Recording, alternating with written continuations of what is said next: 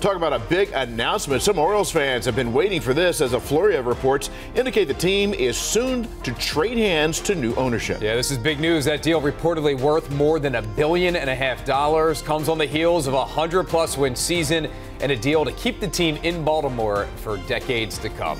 Welcome to the news at 11, everyone. I'm Rick Ritter. And I'm Vic Carter. Our media partner, the Baltimore Banner, confirms an agreement has been reached to sell the Orioles franchise. And the team will now be in the hands of an investment group with billionaire and Baltimore native David Rubenstein is the control person for the team and reportedly involves Cal Ripken Jr. WJZ live at 11 o'clock tonight, just outside the gates of Oriole Park. Christina Mendez breaks down what's known about the deal and how fans are feeling about this news. Christina.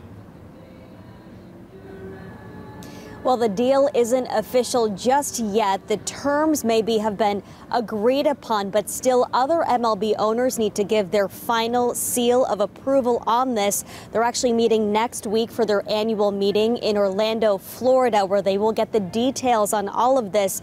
Meanwhile, I spoke to several fans tonight who say that this right here could be what exactly the Orioles need to spark this next season got to get the props ready. You know? Reports of an agreement to sell the Baltimore Orioles franchise Tuesday spread excitement quicker than a play at the plate. I'm going to go to Pickles and have a drink to celebrate. Larry Wixulis is one fan celebrating after months of rumors surrounding the Angelos family potentially selling the O's finally became a reality. Just incredible. Our media partner, the Baltimore Banner, reports John Angelos agreed to sell the franchise to an investment group led by billionaire Baltimore native David Rubenstein, as well as Mike Arougheti of New York. The deal is reportedly worth $1.725 billion the new owners, they need to get to know the fan base a little bit. Come down to Pickles, hang out on opening day, see what it's like. According to the Baltimore Banner, the investment group will also be made up of Maryland leaders, philanthropists, and sports legends, including the Ironman Cal Ripken Jr. Fan Austin Caulfield says he hopes this means the O's aren't going anywhere. They're a staple of the city. They got to stay. Others look for further investments to be made throughout the franchise, from player salaries to security around the stadium. What I'd like to say to the players is that we love you. We hope we can keep you as long as we possibly can. And I think with the new ownership and more money more financial wherewithal, and we'll be able to keep the players, to keep the core here, to build a dynasty here, to have multiple world championships in Baltimore.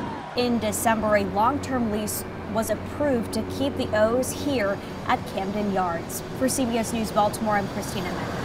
All right, that was Christina Mendez reporting the stadium lease for Camden Yards. If you remember, that was hanging over the Orioles' 100 win season last year a shadow on the best season this team has seen in years. After prematurely announcing a deal the night the O's clinched the AL East, CEO John Angelos and Governor Wes Moore officially reached an agreement last month. The deal, which was set to expire at the end of 2023, now keeps the Orioles in Baltimore for 30 years.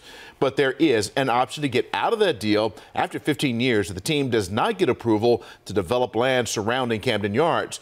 The deal also has a no relocation clause, so the team is here to stay, where it's been since moving east from St. Louis 70 years ago. So, who is David Rubenstein? Well, the 74 year old Baltimore native was first reported as being in talks to buy the team back in December. A lawyer who formerly worked in the Carter administration and businessman, he is co founder and co chairman of the Carlyle Group. That's an international private equity firm, and Forbes estimates its net worth at $3.7 billion. This deal would reportedly give the Orioles some of the richest owners in all of baseball.